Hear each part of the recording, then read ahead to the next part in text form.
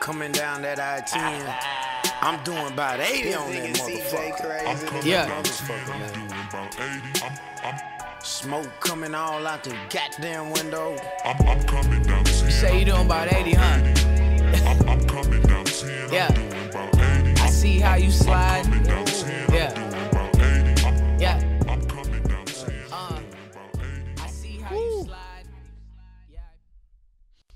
Michael Rapino's boosting my ego. Mm. Are we live? And we live. Are we live? These niggas don't like me. I'm with the Gucci Mane and I'm so icy. Y'all know how we coming this week. Episode five. I, I, I, I, still alive, still alive. I, I. Y'all know what it is. We in the cut. It's your boy Young Curt. Wait, did I say that right? In the cut with Young Curt. In the cut with Curt James podcast. Y'all can tell what time it is. It's your boy Young mm-hmm. Curt. And we and we are back with another episode. Man, I'm gonna be real with y'all. I just got done refereeing, officiating a couple high school games. trash. I was out there officiating trash, but hey, I was getting the cash, getting to the bag, and I'm here. The grind don't stop. Y'all already know what it is. Woo! Young Jones is on vacation. Uh, whenever he hears this, he will probably be um, on the ocean somewhere with his young lady and with his family. Um, shout out to Young Jones, man. Young Stiff, we in the cut. We in the cut. and we here. We are here, boys. HBA Worldwide, man. HBA Worldwide. Y'all know how we coming. Ah. Just gonna freestyle this shit, man. This week I gotta come off the top with it. So I'll just be honest. Oh yeah, I forgot. I am unemployed as of today. I am unemployed. Tough. It's tough, stiff. Boy has boys had to file for that unemployment yesterday. First time I ever had to do that on the cool. So I'm fortunate enough for that being my first time, but I was like, ah. I'm not gonna get into specifics just because I know how I am. I know I'm gonna go on a fucking tangent, but I'm unemployed. but I'm unemployed right now. But at the same time, I'm a hustler. I got multiple streams of income. So, you know, just because one door closed, don't mean we ain't getting money elsewhere. So, it's just my corporate America job at the moment. Why they terminated me. I was at the job for like a little over a year. You know, that's the longest I ever stayed on a job For real? was probably a little over a year. Other than my college job, I, I was a supervisor for intramurals back in North Texas. Um, but that but that was in college. But once I graduated, I never stayed on a job past at net like at least six months. Every six months, I was I was in and out. I was. I was moving and grooving just because every new job I had, the pay was better. Yeah. I, I want to say I, I- worked at the airport at DFW Airport for going on a year. Then I got a job with Southwest Airlines, and then I think I, I was right at like 11 months before I got fired from Southwest, and then then uh, Centerpoint was working there, and a little over a year back on the job search. So for me, yeah, a- anything over a year is good for me. Like this is rare for me. Like and, and it's good that I can have that on my resume because I would always have to finesse Yeah. during the interview. Well, why did you? Why are you moving around so much? Or you know those type of questions. So I had to. Of course, I know how to finesse during the interview. Just I mean, Slick it- talk 'em. slick talk. I mean, you gotta hey, tell them what they want to hear. Put the put put the good smile on the cheese, all of that. Big whites, you seeing all of that. you seeing gap, all the gap, all that. They said big whites. Big whites. Uh oh yeah. So, but you you know you're in a different field where it's kind of like, you know, you bounce around, but not not, I not mean, too much. not too much. If you find a good situation, Yeah. like you can really Yeah, I'm locked in where I'm at right you now. You can really locked in. You know what I'm saying? So, where was you at before? Like as far like as far as time period before that, was that like a couple years What you talking about? before your current like the the place you working at No. now? Before how long were you there at that job? Like at Oh, that I was location? at a, a year in Brenham. year year out in Yeah. Brenham, I had to get up out of there. right? Hey, gotta move and move and groove, move and groove. I feel you, cuz I feel you. Uh, young stiff, young stiff. My bad, I'm getting thrown off. Just some ass keep walking by the. we in the studio right now, and people, and people are looking in here Wagon? wondering what's going on. Little wagon, little G wagon. Well, I, I don't know about a G wagon, but a station wagon maybe. But It'll wagon do. It'll nonetheless. Do. It'll do. Woo! I told y'all we off the top with it right now. Um, shout out to um my younger cousin who decided to take a nap. You bitch ass nigga! Wake up. Wake up! and young Matt, I mean, I don't even know what you look like at this point. I never see you. I'm gonna send you a clip of this too. Boy, yeah, boy, boy, phone don't be working. Hey, boy, phone. Hey, niggas get wiped up and you don't hear from them. I'm hoping. Hey, when it's your turn, young Stiff, I'm hoping. I'm hoping that's not you, man. I'm hoping that's not you. that bad, man. I'm about to say- are- I'm gonna be in the cut though. Oh, of course, you got to be in the cut with it, and I understand you got to put your time in. I'm just saying. I'm just saying. Certain niggas, man, like you. But I understand. I understand. We're getting older. I keep thinking, man, we we still back in our early college days, even high Bro, school. boys almost that in. What? Niggas is almost big 3-0 with it. So yeah, you know, you, you start to think about these things. As I said in my last episode, you know, I'm a little lonely, you know. And luckily in Houston, it, it, it's not getting cold anytime soon. Like they played with us a little bit. The weather played with us a little bit like two weeks ago. Yeah, yeah. Had a little cold front cover. I said, "Oh, okay. Yeah. Let me pull the sweats out. Got my little Nike Tech. You know what I'm saying? this is not a plug, by the way, but hey, Nike, y'all know what to do. Cut the check. but yeah, had my little tech on, you know, and then day later, back in shorts, back in shorts. So Facts. failing crispy though, we still out here. Hey, we ragged up with it, ragged up with it. So The rag works wonders. woo, man, it's been a lot going on. It's just, and I told y'all we coming off the top. Boys been moving and grooving today, so y'all bear with me. We still flowing, we still grooving. Um. Oh, I mean, how could I not? and who's the next president? Joe Biden. Who can fix the economy? Joe Biden, baby. and you saw that the white people sing. I do that real. That had me rolling. and they had me rolling when I see that. and who's the next president? Joe mm. Biden.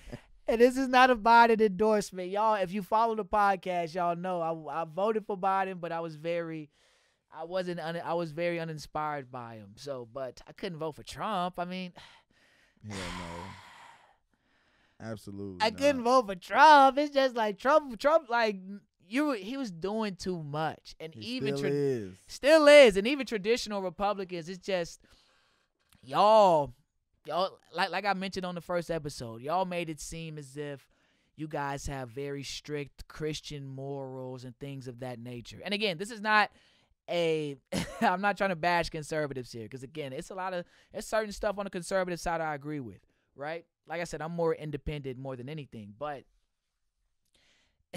it's just crazy to see all the conservatives riding for y'all riding for them hard, even through all the fuckery line. fuckery, right? Like like I said, I'm not gonna call you a racist if you vote for him. I know a lot of people like to do that. Me personally, I understand you. It's just uh partisan loyalty. You're loyal to the party. You're gonna vote for them no matter what. It's just crazy. Like yo, yo, y'all just gonna let it slide? Oh, okay, bet, bet. so it's just always baffles me with his presidency, just how much people are willing to, you know, turn the other cheek all for greed. Yes. Like we live in a greedy nation. And like I say, man, we all not gonna be here forever. I understand you want to take care of your family. That's really my goal. Financial security for the family. Facts. And then everything else, you know, it should be to give back. But hey, you, you do what you do. We live in America. But it's just a lot of y'all sacrifice y'all or y'all put money over your morals. And it's just and it's just I can't like I can't I can't really But ride they with Christians. it. but y'all devout Christians, devout, right? But you just turning the other cheek at this. I've been seeing some wild stuff. Like, have you seen these these pastors uh, when Trump lost or whenever they were tallying up the votes. I, I, what, what about? I the seen like? Twitter videos of like uh, white pastors saying prayers like, "But Trump will win. Trump will win. Trump will win. No. Amen. It is in the air. It is in the." I Yo, see- they I were. seen I seen some crazy shit. I seen some people Wild out, like shit. outside of one of the polling stations. Wow. I seen one of um. Yeah, I seen I seen a clip on Twitter. Niggas is wilding over They- this shit. They was Y'all love this nigga so much. Oh my, my bad. Go ahead. You good? Yeah, they was outside the polling station, praying and stuff on on their knees, bowed down all the way. I'm like, come on, G. Y'all are wildin', right? Y'all are wildin'. Like I said, now the thing, I'm gonna go on a tangent, but it's just it's it's real funny to me. It's hilarious to see a lot of my conservative friends in an uproar right now. they are in an uproar. They reposting all of these right wing think tank uh, conspiracy theories about the election and voter fraud. And my thing is this it's over. It's over with, right? It, it's over. Like, I honestly thought that he won because early on, because it, it was deja vu 2016, but 2020. I woke up in the middle of the night or like one or two in the morning and I see him giving a speech talking about he won. I see majority of the map is red. I said, this motherfucker done done it again. and I think a lot of black people and just a lot of people who are who don't really rock with Trump, who are against his his message. I think we were all just ready to just say, "Hey, it is what it is. Just four more years. Let's just ride it out." but to see you motherfuckers in an uproar right now, this shit is hilarious. And it's just I see a lot of people saying, "Oh, well the Democrats, so y'all did this in 2016." So basically, y'all are saying y'all did this in 2016, so we're gonna act like a bunch of babies as well since y'all did it back then. Like it's just crazy. It's the hypocrisy, the hypocrisy. and It is just it's it's it's hilarious. It's hilarious. Like people really believe that Trump was cheated out the election. They really believe that shit, and it's just baffling to me. It's baffling. It's funny and it's just amusing that you're putting so much energy energy into this. it's funny, man. We live hey, this is America. Facts. This is America, but uh Oh, this was this is what I was going to get to. So, do you think we're going to get on, on on another lockdown? And what are your feelings about another lockdown? Cuz I tell you this, I know you probably seen me on Twitter arguing with niggas Yeah. just posting. I don't think we need another lockdown. I think the first lockdown caused so much unemployment, so much, I think, an uptick in crime, a lot of people on government assistance. I don't, I think it's more, it did more harm than good. And it didn't contain the virus because I feel like we live in America. Niggas are going to do what they want to do regardless, right? Mm-hmm. so my thing is this i really think and what i was saying on social media was that i think these businesses should enforce their safety guidelines and their health restrictions just more firm i think we need to enforce those actually there should be capacity limits at certain places and i feel like it's gonna it's hard to really police that but i think you have to but I don't think the entire country needs to shut down. I just think that's that's just it's I just I don't believe in that. I I disagree with that. So and I, and I know a lot of you niggas really just want to shut down for another stimulus check. Like let's be real. like let's be real. And I've seen y'all say I've seen niggas facetiously saying this shit on Twitter or tweeting it saying, "Oh, we need to, hey, shit, we need another shutdown. I'm trying to get another stimmy." I say, "Yo, y'all, if something is wrong with y'all. You niggas want another twelve hundred dollars that bad." And yeah, I'm-. And I just seen I've seen directly how the shutdown has affected a lot of people I know. I know a lot of people who are freelance entrepreneurs. Like they have their own trucks, they're in the truck driving business, they're in the hauling business. They were affected by that shutdown severely. So I'm not just thinking about myself in this situation and oh well, because I see people saying, "Oh, you can work from home." Not everybody has that luxury of working from home, right? So I'm thinking about the you know the small businesses, the uh, the self-made entrepreneurs. I'm thinking about them and how that shutdown is going to affect them. And y'all just want to say, "Well, get them niggas on unemployment." Like niggas like I told you, I just filed for unemployment. That is not a fun process, right? and I and that's this is another thing. I hate how conservatives and like a lot of people, a lot of white people think niggas just want to be, and a lot of Mexicans be saying this shit too. A lot of Hispanics like there's this idea that black people want to be on government assistance so bad.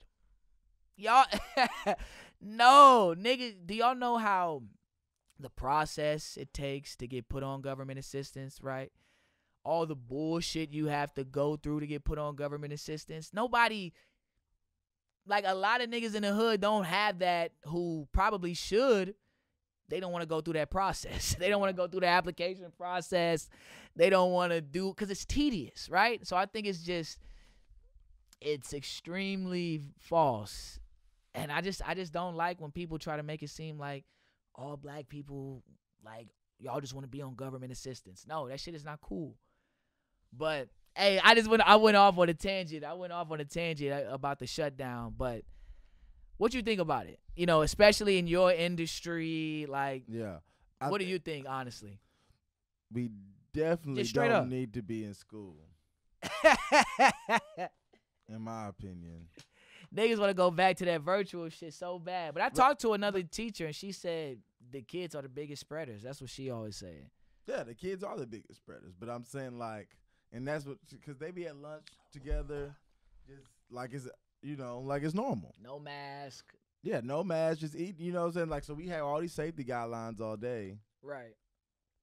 and then they, so they go to lunch, be crowded up with their friends, no mask, eating, talking all in front of each other.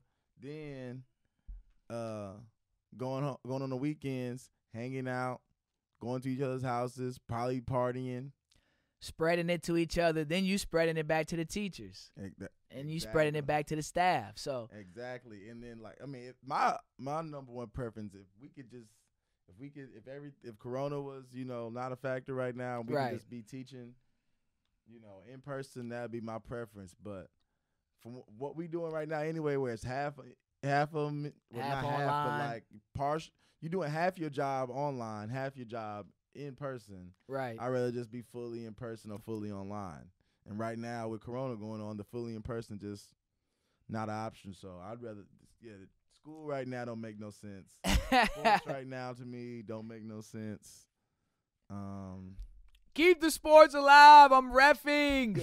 Okay, I need these checks. Y'all know, like I, like I said, I officiate, so nah, I don't feel want them though. to shut that shit down. But I feel you though. Like I don't know how, cause I see a lot of games are getting canceled as well. People will text me like, "I'll have a game," and then it got canceled it's- 15, 20 minutes later. Exactly. What's I'm going. Uh, I'm going to watch uh, my my old school in Brenham tomorrow play, and I hit bro asking uh, about the game tomorrow, and he told me how they uh they playing, but they had to switch the team today. Just talked to bro Wednesday. Wait, they had to switch the team. Yeah, like they they found out they like oh, a they- different opponent. Yeah, different opponent basically. Okay. Cause uh, team canceled because of probably a corona case or something of the sort, and then Are they testing at school? no, I'm about to say. I don't think. I'm about to say. No, school can't afford that. no, It's, it's, it's not. that, that's definitely not in the budget. exactly. So, but I feel you. I feel you. I do feel that. But I don't think. I don't think we should have another shutdown. I yeah, just but think like there should be a full shutdown isn't as like how we had it earlier. Isn't as necessary if yeah, these these places uh, can really enforce their their rules and stuff. But when you got the bars and the clubs, The bars and the there clubs like open. it's nothing. Strip clubs open like it's nothing. Like Then like you go to the gym, like I understand like They just opened up the sauna talking mm-hmm. about it's three people limited in in, in there. Ain't nobody following that rule. Like I was in the sauna today and somebody I was the I was in there by myself for the first few minutes.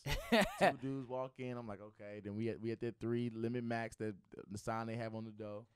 niggas are not abiding by that rule. And then somebody else come in there. I'm like, oh, good thing I was good thing I only had another minute or two to be in there before I got out. yeah. I, am all the way in the corner. Talking I'm all the way in the like, corner tucked off in the corner. looking at niggas. Niggas do not think about moving closer. Like I work out at a at a LA Fitness and it's a heavily Hispanic population there. Yeah. So them Hispanic niggas, they you got to look at them like once or twice. Like yo, essay, vato, bag bag. You you too close, right? Look at the sign.